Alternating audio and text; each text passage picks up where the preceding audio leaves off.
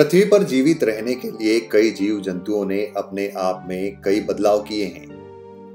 उन जीवों ने खासकर जो छोटे हैं। यही कारण है कि कई जानवरों की प्रजातियों ने अब तक के विकास के दौरान छुपने और छलावरण के विभिन्न तरीके विकसित किए हैं। नमस्कार दोस्तों, आपका स्वागत है आपके अपने चैनल रहस्य एंड नेचर की इस विचित्र जीवों की दूसरी वीडियो में। अगर आप चैनल पर पहली बार आए हैं तो चैनल को सब्सक्राइब कर पास ही बने बेल के आइकन को प्रेस कर ऑल पर क्लिक कर दें, ताकि आने वाली वीडियो की लेटेस्ट अपडेट आपको मिलती रहे। दोस्तों, आज की इस वीडियो में हम कुछ ऐसे जीवों के बारे में जानेंगे जो हर परिस्थिति में छिपने में माहिर होते हैं, जिन्हें देख पाना इतना आसान नहीं होता। यह पेड़ पौधे और ज़मीन पर खुद को बेहद ही खूबसूरती से छिपाने में माहिर होते हैं। दोस्तों, सबसे पहले बात करते हैं बफ, टीफ मोथ की। बफ टिप मोथ एक मध्यम आकार का पतंगा है, जिसकी बनावट किसी लकड़ी के टुकड़े जैसी होती है। जब यह कीट अपनी लाइफ की फाइनल स्टेज में होता है, तब यह काफ़ी बड़े और हेवी दिखाई देते हैं। इस स्टेज में इसके रंग बेहद ही खूबसूरती से उभर कर आते हैं। इसकी लंबाई 55 से 70 मिलीमीटर तक हो जाती है। जब यह जीव आराम करता है, तब यह किसी लकड़ी के टूटे हुए हिस्से की तरह दिखाई देता है। यह कीट यूरोप, एशिया और साइबेरिया में पाए जाते हैं। यह प्रजाति पत्तियों और नर्म टहनियों को खाकर नष्ट कर देती है। दोस्तों, अब बारी है टाउनी फ्रॉग माउथ की। ऑस्ट्रेलिया में पाई जाने वाली यह अद्भुत चिड़िया पेड़ पर अपने आप को बेहद ही खूबसूरती से छिपा लेती है।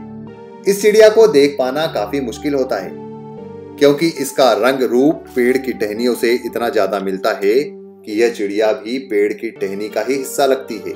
कई बार इस चिड़िया को लोग उल्लू भी समझ लेते हैं। क्योंकि यह दिन के उजाले में सोती हुई दिखाई देती है।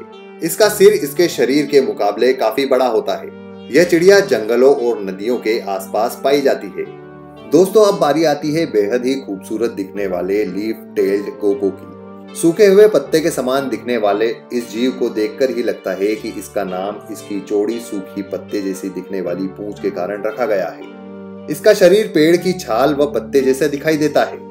यह जीव उष्ण कटिबंधीय वनों में पाए जाते हैं। अब तक इस जीव की आठ अलग अलग प्रजातियों को खोजा जा चुका है। लेकिन वनों की कटाई की वजह से इनका ठिकाना सीमित होता जा रहा है। इन पर की गई रिसर्च से पता चलता है कि यह जीव एक विशेष वातावरण में ही रह सकता है।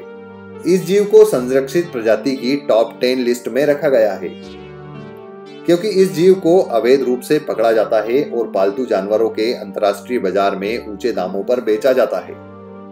अब बात करते हैं बेराम केटरपिलर की। इस केटरपिलर कीट को देखकर लगता है कि इसने अपने आप को सिर्फ़ दुश्मनों से बचाने के लिए अपने शरीर का रंग और शरीर का विकास किया है। यह कीट भारत, श्रीलंका और साउथ ईस्ट एशिया में अक्सर आम के पत्तों पर पाया जाता है। यह पहले एक, फिर लार्वा स्टेज में आते हैं और फिर तितली में बदल जाते हैं। मादा केटरपिलर गहरे हरे रंग की होती है और नर भूरे रंग के। जब यह लार्वा स्टेज में होते हैं तो इसे आम के पत्तों पर पहचान पाना या देख पाना लगभग नामुमकिन होता है। यह पत्तों के बीच में बैठकर बिल्कुल पारदर्शी सा हो जाता है। तो दोस्तों, है ना ये सभी कमाल के जीव? आपको इनमें से कौन सा जीव ज़्यादा कमाल का लगा? हमें कमेंट कर कर ज़रूर बताइए।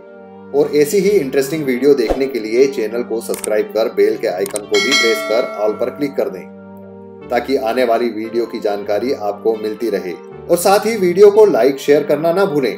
वीडियो पूरा देखने के लिए धन्यवाद।